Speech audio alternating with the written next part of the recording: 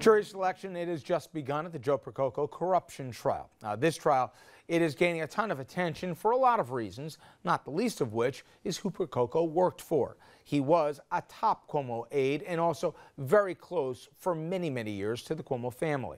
Our own Dominic Carter, he's at the federal courthouse in Lower Manhattan with more. Dom?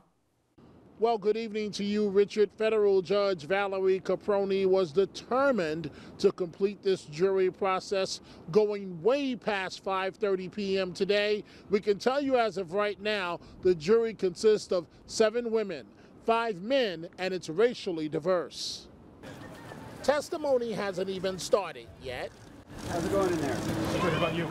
But considering Joe Percoco's close relationship to Governor Cuomo as a former longtime aide and close friend, Cuomo corruption, stop CPV. Environmental protesters were out bright and early this morning against the governor. Right before federal judge Valerie Caproni started with groups of 20 potential jurors at a time, questioning them one by one. Percoco's lawyer was concerned the impact the protesters might have on possible jurors walking into the courthouse. His lawyer, Barry Bohrer, told Judge Caproni this was very problematic. The judge responded, let's pick the jury, adding, let's make sure the jury can disregard it. Governor Cuomo has said Percoco was like his father's third son. Percoco's accused by federal prosecutors of taking at least $315,000 in bribes in return for official actions on behalf of an energy company and a developer. On the jury questionnaire form, one question was Have you followed the trials of public officials in recent years? Many of them had, specifically mentioning Bridgegate, Senator Menendez, and Sheldon Silver. Some of the potential jurors used terms like they thought all politicians were crooks or liars. Meanwhile, Republicans hope the trial and the fact that Cuomo was up for re-election for governor this year will help weaken the two-term Democrat and possible presidential candidate. State Republican Chairman Ed Cox was here at the courthouse. Republicans plan on releasing an ad later this week. But, Mr. Chair, the governor is not on trial. It's Percoco on trial. No, the governor's on trial too, Dominic, because he is the most politically corrupt governor in New York in more than a century. So what's left now, Richard? Opening arguments now that we have a jury, and that could come conceivably as early as tomorrow. Reporting from the federal courthouse in Lower Manhattan, I'm Dominic Carter. Richard, let's go back to you in the studio. All right, Dom. Uh, now, as you just heard there, everyone is waiting and watching to see how this whole thing will impact Governor Cuomo. And uh, obviously, this does not happen in a vacuum. It's an election year. New York Democrat, he's got a 50% approval rating, which, if you listen to the last segment, is substantive, at least in today's day and age. Only a quarter of the people disapproving of the job that Andrew Cuomo is doing.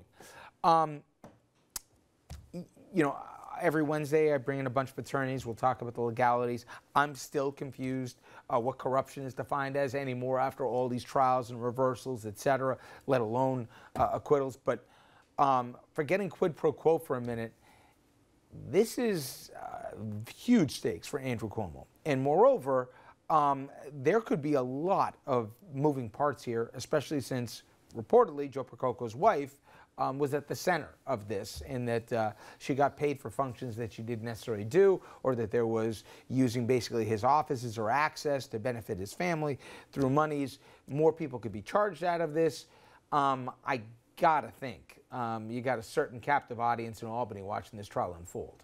Yeah, I mean, I, I, agree. There's a captive audience of people who are watching, but I think we're still a long ways off, or at least a ways off from tying this directly, as much as Ed Cox would like to, tying this directly to the governor.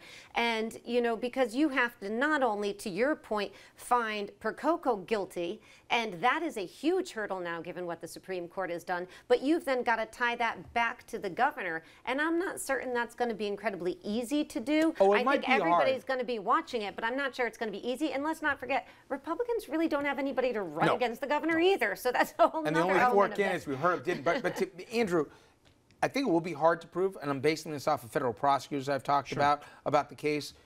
But again, at the crux of this, it is Percoco left the governor's um, office.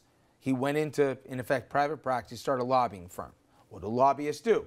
Lobbyists sell influence. You come to me, I'll be able to get you access or whatever else. I'm not even doing that with criminal aspersions, but that's the premise of being a lobbyist. You use influence. What influence would he have? He would have had influence with his former boss.